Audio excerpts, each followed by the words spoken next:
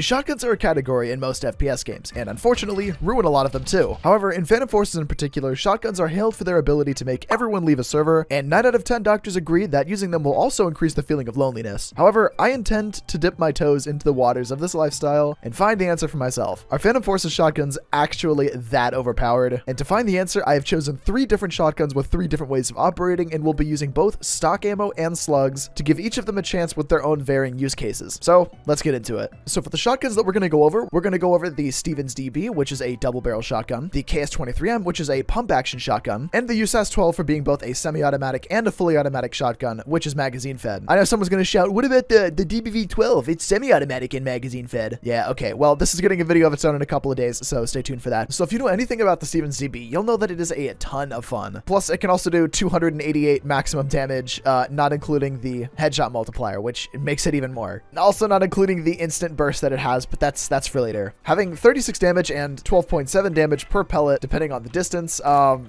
is kind of overpowered, I'm gonna be honest. And I guess having the availability of two barrels, does that does that mean that it's can this be classified as a semi-auto shotgun because it has two shots? I wonder. Having the availability of just having two shots at your disposal is probably going to be pretty helpful. I know it is for me, and it makes me happy. Mmm, yes, two barrels. And with this shotgun in particular, it's just like a, a bit of nostalgia if you've ever played like Call of Duty World at War or anything like that.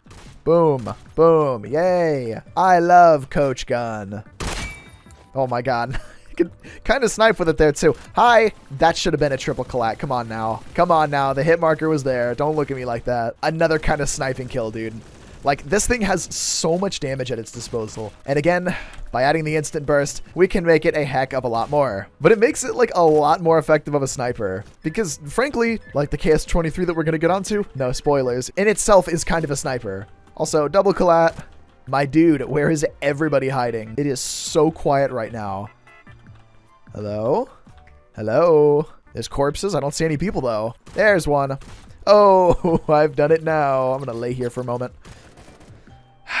the level zero wins again. Good for him. Now, of course, we're going to be going with slugs because, like I said, that's going to be the second use case, especially for the Stevens DB. That's going to make this a lot of fun. Of course, to utilize this fully, we're going to put on the burst mode, and I'm just going to show you, before we look at damage numbers or anything, what this thing is capable of.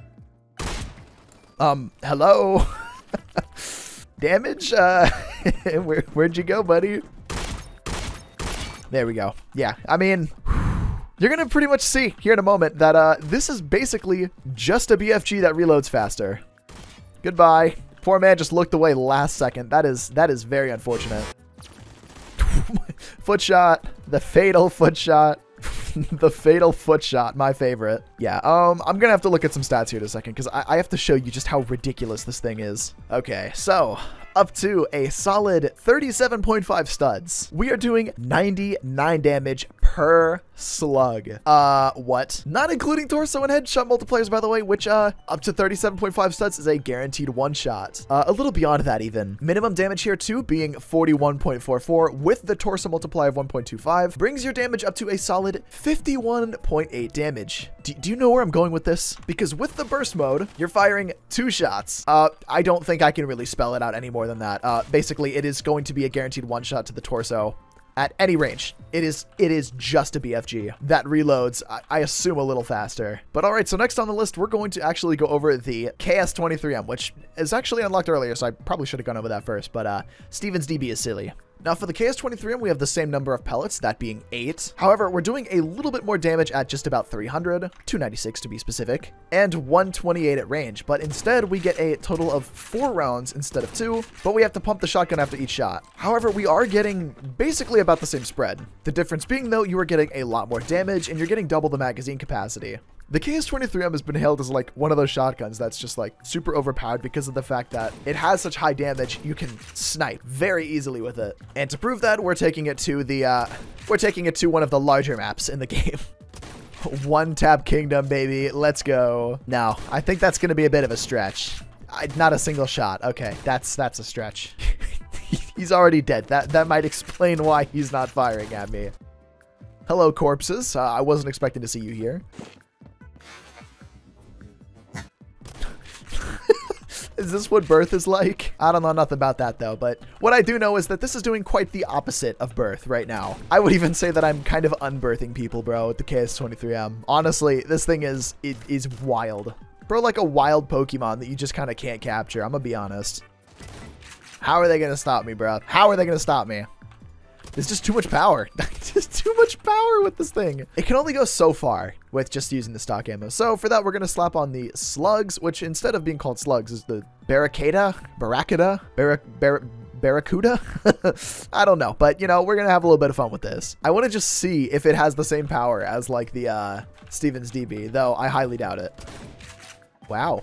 He died without even me getting a hit marker. Must have been that kinetic energy I hear so much about. Definitely not a teammate stealing my kill again. No, no, no.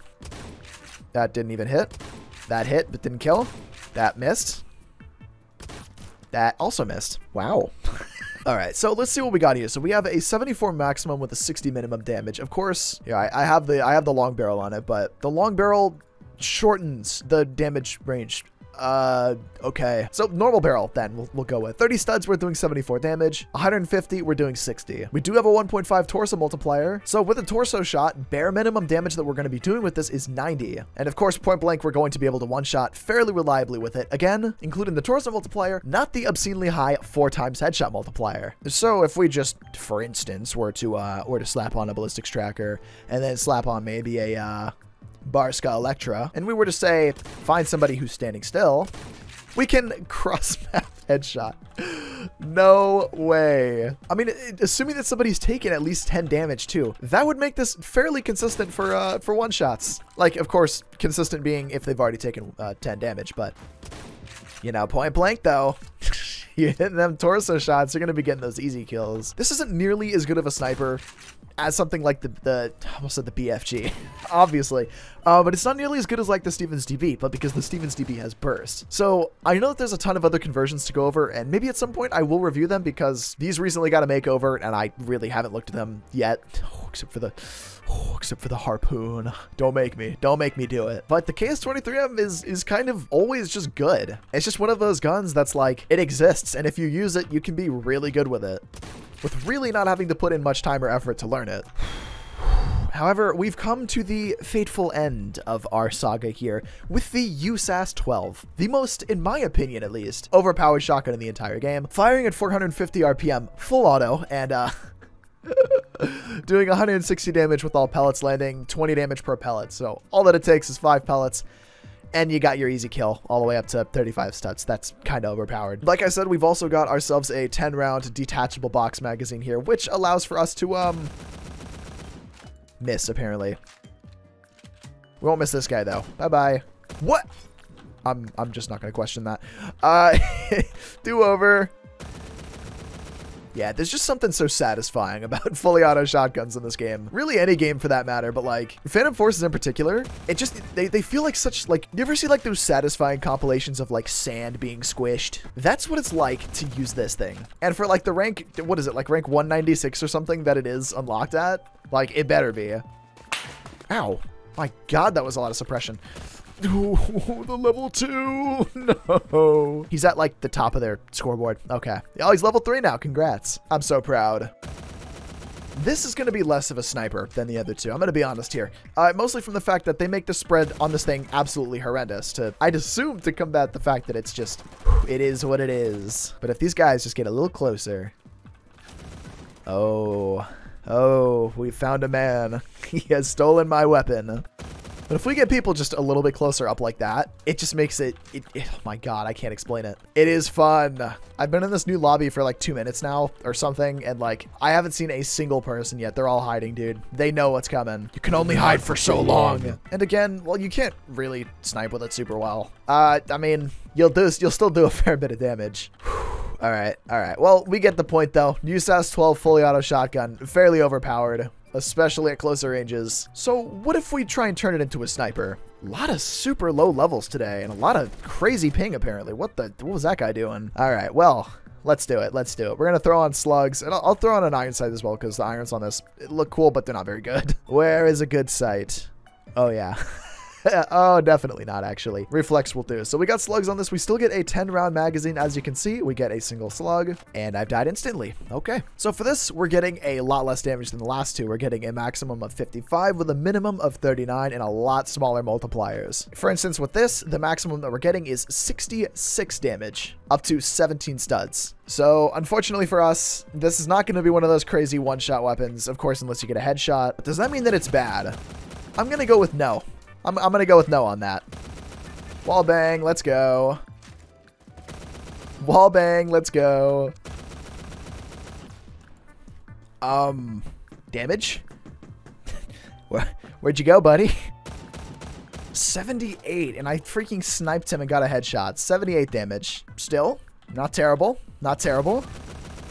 Okay, there's a couple of dudes. There's a couple of dudes down there I don't want to mess with. Let's do it. Let's throw on the ballistics tracker. I'll spend the last of my credits on it. Ooh, sick one tap. Let's go. Happy days, boys. Happy days. Oh, man. I, am I'm, I'm not sure too much how I feel about slugs on this. It, to be fair, part of it is like the fact that I'm just kind of missing a lot of my shots, but also because damage is reduced so much, and this is more of like a close-up, like kind of shotgun anyway, it just seems like it's not super needed to have slugs on this. Dare I say even, I guess, impractical. Can it still work up close? Sure, but like when you have the stock ammo, you're going to get a lot more damage up close than slugs. Still kind of cool though. Let me get all this clutter off my screen. Still kind of cool though. Uh, very interesting build. I'm going to reset that actually. But uh, a fun shotgun. Definitely pretty cool. But what do I think about these though in general? Like, as far as shotguns go, I think that these are all fantastic. I think that you'll be really hard pressed to find any shotgun in the shotgun category, except for maybe this, but that's that's for another day. You'll be hard pressed to find anything that's like actually not that good everything in the shotgun category is just, for the most part, fantastic. I'd say personally, out of the three, my favorite in terms of variety is probably going to have to be the Stevens DB. Like, KS-23M is a close second for me, just because of the fact that it's just such a good, like, sniper shotgun, even with the stock ammo. But Stevens DB, like, it's got the different fire modes, and it's just, it's just a classic, bro. I mean, look at this. Look at this freaking thing right here. This looks great. But in terms of, like, raw overpoweredness, raw damage, just the ability to make everyone mad. The USAS 100% takes the cake, dude. Like, the, whenever they first added this to the test plays, I was like, there's no way that they're keeping that in the game. That is that is busted beyond belief. But uh, little did I know, they did. And uh, to my knowledge, this has yet to receive a nerf, so uh, Uh, do with that what you will. When I say they're all overpowered, though, no. Every shotgun in this game is going to have its own limitations, from fire rates to magazine capacity to having two barrels with two rounds, not even a magazine. If anything, auto shotguns are basically just like large upscaled SMGs. Like that's pretty much. Someone, someone's got. Thank you. I was I was on a bit of a rampage there, my bad. But yeah, I don't know. I mean, I think the whole shotgun overpowered meme is a little bit overblown. Like, I think they could maybe use a little bit of tweaking, but for the most part, I don't think it's that big of an issue. However, um, there is one thing. There is one thing that I failed to mention with this, though. Uh, talking about magazine capacity and fully auto and overpoweredness and I, I think you know where this is going. Yeah, why did they give this a drum? There is no reason for the AA-12 to, to, to be the way that it is, bruh. Like, they just deliberately made this decision. Uh... Oh, I don't know why they do this. I don't know why they do this. Well, as usual, if you ended up enjoying the video, make sure to subscribe with notifications on. If you haven't already, become a channel member like these wonderful, wonderful people up on screen here. You'll help financially support the channel and keep me making videos just like these. And if you ended up enjoying this one as well, and you're already subscribed, or you just found my channel, hello, welcome, by the way, consider watching the Phantom Forces playlist up on screen. I got a ton of videos in there, literally days worth of binge-worthy content, and I guarantee you, you're gonna have fun. All right, uh, with that said, let me know your thoughts below, and enjoy your day. Peace. Subscribe for more. We've got a perfect visual right into Oh, her. we, oh, what the? Oh, oh, oh, oh. scary ghost. I don't think bro survived.